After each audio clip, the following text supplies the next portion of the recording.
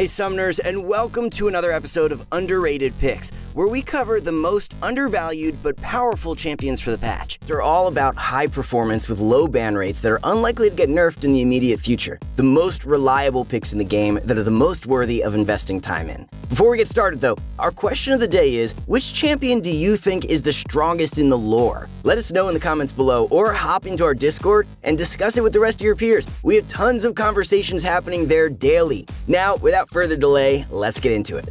I'm sorry, but the first pick for 10.10's underrated top laners is Soraka. That's right, we're, uh, we're, we're running it back, because 2020 didn't have enough bad things going on. Soraka got some buffs, and now she's back in the top lane, menacing anyone and everyone. Her Q's large AoE slow also heals her when it makes contact, so trading with her is incredibly difficult. Soraka's W is her heal, and while it doesn't do much for her in lane, it comes in clutch when she finally ends up grouping. Soraka's E is another large AoE, but it silences any enemies standing on it, and if they're still on it after a few seconds, they get rooted. This is another step in what makes her so hard to fight against, since she can often just place the silence under herself to root any enemies that try to jump on her. Soraka's ult is a global heal, which allows her to have more agency than most top laners have, without her having to even leave the lane. Being able to save your teammates from across the map never really goes out of style. It's just unfortunate that it has to come with the rest of the obnoxious abilities Soraka brings top.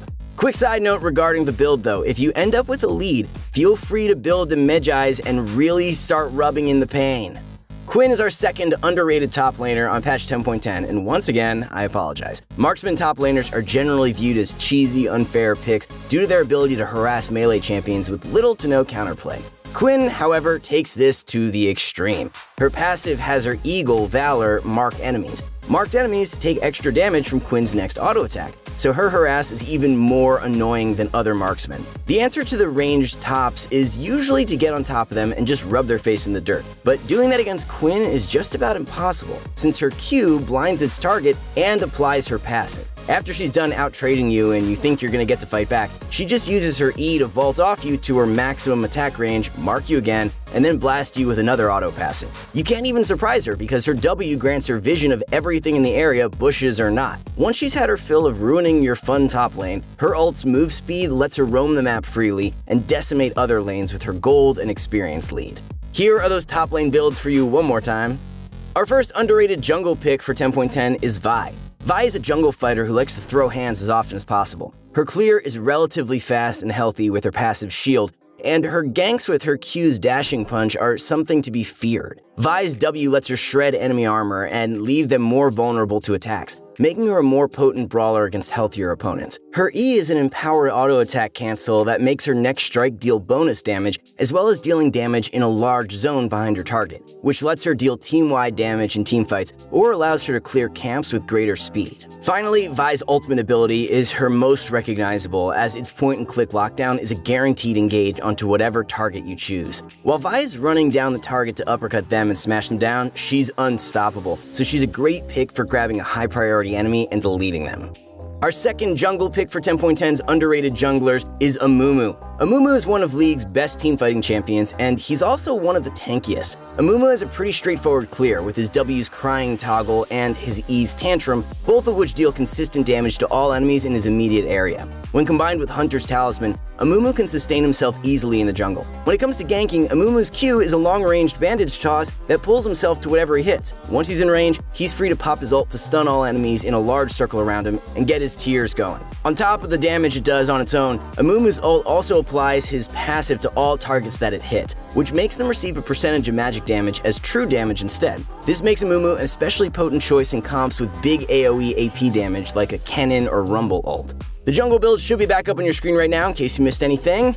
Morgana is our first underrated mid laner for patch 10.10, and unfortunately, her greatest weakness is the ban rate she has for her supporting. If she gets through though, she's an excellent CC mage, and she does even better against targets that rely on CC to win. Morgana's E spell shield prevents any CC effects from getting through as long as it stands. This ability is the primary reason Morgana's support is such a prized pick, but it's an equally valuable utility on Morgana mid. Her Q is a long-range root that lasts for a few eternate seconds, which gives her plenty of time to follow up on it it and finish the kill. If Morgana finds herself in a bad matchup, she can just put points in her W's pool and just clear waves from a safe distance. Morgana's ult is a great teamfighting ability and allows her to lock down multiple targets in proximity to her after a delay. If they're stunned on top of her W's DOT, all the better.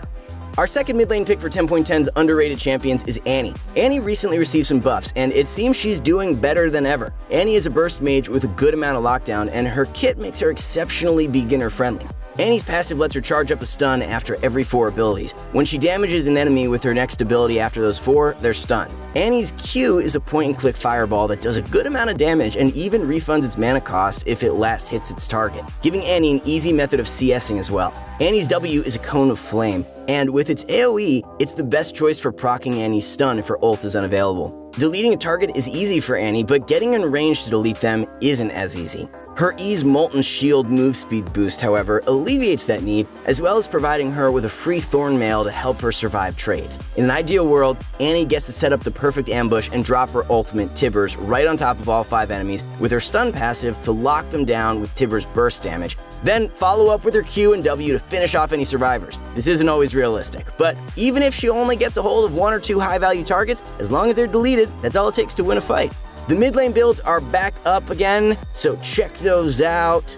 Patch 10.10's first underrated bot laner is Ziggs. Ziggs is a bursty artillery mage who shines through with his poke and objective control. His passive gives him an empowered auto attack every so often with a cooldown that lowers every time he casts a spell. Going for trades while this passive is up is essential to Ziggs' success in lane, as is his ability to outrange most marksman champions with his Q's long-range bombs. Ziggs' satchel charge on his W is an excellent tool for creating space between himself and his enemies, or even using it to bounce an enemy away from their team for a pick. It even has the added bonus of executing turrets once they're low enough. If enemies are looking to approach Ziggs, or if Ziggs just needs to seal off an area, he can throw out his E's minefield to slow and damage any opponents that try to pass through. Ziggs' ult is an enormous semi-global bomb that can obliterate fights from a distance, but in a pinch, he can use it to thin out sideways with minions to ensure a more favorable push to set up objectives for his team. Maokai is our second underrated bot laner for 10.10. However, there's a large asterisk on this. Maokai bot is only intended for use with Senna support. He's not a general all-purpose bot lane carry. Maokai is just a crazy tanky champion that's jammed with utility, and his sustain passive makes him hard to keep out of lane. His Q is both a knockback and a slow, which is great for protecting Senna in lane. His W is a point-and-click root that also makes Maokai untargetable when he's on his way to them. For a bit of added lane safety, Maokai can throw out his saplings as wards to keep an eye on bushes. Maokai's ult is a phenomenal tool for both engaging and disengaging teamfights, and with everything else he offers, his bot lane with Senna is more than worth it for how niche it is. The bot lane builds are on display one more time for you. Alistar is our first underrated support for patch 10.10, and as a tanky peel support, he's in a great spot right now. Alistar is a well-rounded frontliner who can use his CC to either engage or peel as he sees fit. His Q is a knockup that hits all enemies in his area. Usually this is used in conjunction with his W as a gap closer to bring him in range, but he can also just choose to use his W's point and click headbutt on its own to put distance between his enemies and his carries. Alistar's E is a point and click stun that charges up after he stomps around his enemies for a few seconds. Alistar's ult cleanses him of CC and makes him extra tanky, enabling him to pull off oppressive tower dives as soon as he hits 6. Our second support pick for 10.10 is Sona, an enchanter that hasn't made their return to top lane. Not yet anyway, give Riot time. I'm sure we'll have to deal with it again. Anyway, Sona is a well-rounded support with a little bit of everything. Her Q brings a decent poke to her laning phase as well as buffing her allies' damage. Her W is a healing and shielding AoE ability, and her E speeds up all the allies in her area to help with rotations. Sona's ult is her signature ability and sends out a crescendo of music to force an enemy champion to dance for a bit while her team deals free damage. And finally, the support builds are back up for one more look, Thank you so much for watching, everyone. We hope you enjoyed this video along with the rest of our patch 10.10 series. Once again, let us know in the comments which champion you think is the most powerful in the lore so we can hit you with the hot, fresh heart react. We really do love hearing from you guys. See you all next time. Good luck out there on the rift and wash those hands.